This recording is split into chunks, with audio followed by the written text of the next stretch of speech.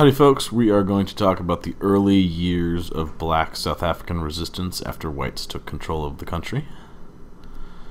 Your goal for the screencast, there's actually two of them. When you're done, you should be able to say, I can explain what black South Africans tried to do to change conditions in their country. Also, you should be able to identify the kind of justice, and you can check out pages 1 and 2 of this unit. Um, but you should be able to identify the kind of justice that black South Africans are asking for. So, having said that, Let's do it.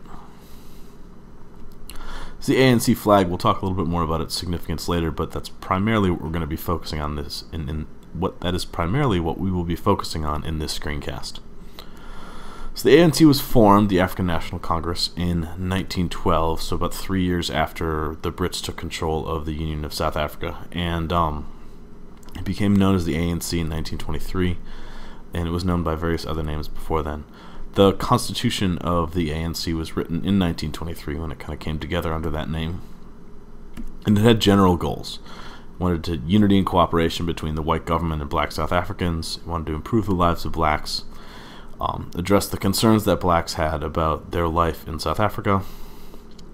The early tactics of the ANC were pretty non-confrontational. They used petitions and hearings, so they kind of used legal means to show their grievances they weren't very effective at getting things accomplished or in, in changing the way right white rule was unfolding in South Africa.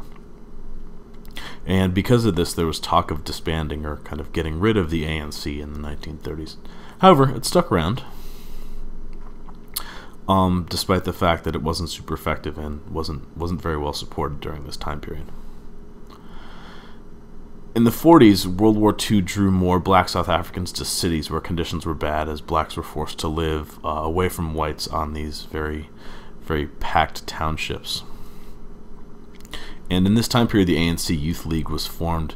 This was a hugely important organization because a ton of really important independence era leaders from the ANC came out of this organization. Uh, the next big thing to happen for the ANC was the Atlantic Charter. This just kind of generally outlined the goals for the ANC and was heavily influenced by the ANC Youth League. The Atlantic Charter asked for better jobs, better pay, better education, and fair land distribution for black South Africans.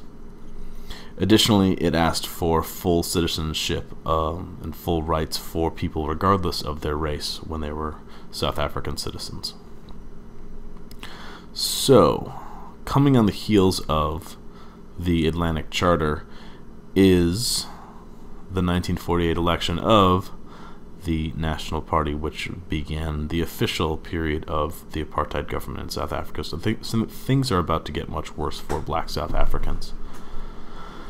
So, in response to the National Party's election, uh, there's a program of action in 1949 by the ANC and this is a, a big change in ANC tactics because they're going from kind of attempts at legal persuasion to mass action by ANC supporters. They're using civil disobedience and boycotts. They're using nonviolent resistance to get their point across to the white government. This is followed up by the Defiance Campaign, and this called in the Defiance Campaign, which was in 1952, the ANC called on people to break unjust apartheid laws, and they asked them to allow themselves to be arrested. They were arrested for using the, the segregated bathroom facilities, for not carrying their passes and, as they traveled into white areas, and things like this.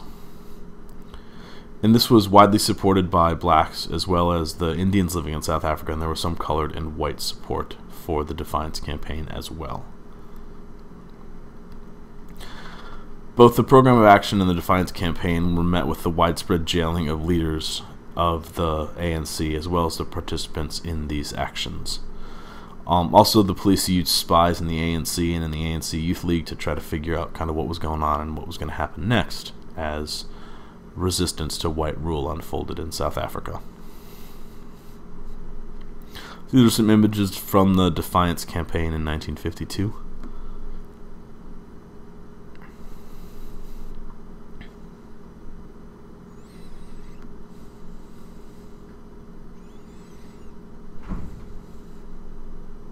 So young Nelson Mandela.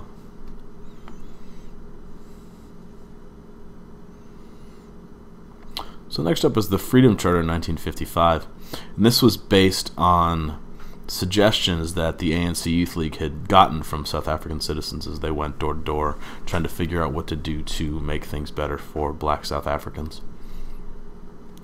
In the meetings that were held to kind of put the Freedom Charter together were constantly raided by police as the white government tried to clamp down on these groups of black South Africans who were trying to get more rights.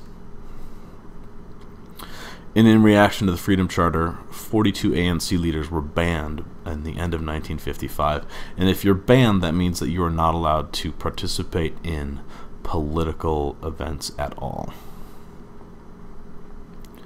So your goal for this screencast was to explain what black South Africans tried to do to change their to, excuse me, to change the living conditions in their country, particularly before the mid 1950s and hopefully to identify the kind of justice that black South Africans were asking for. If you can do both of those things, that's great. If not, go back and rewatch sections of this screencast. Thanks.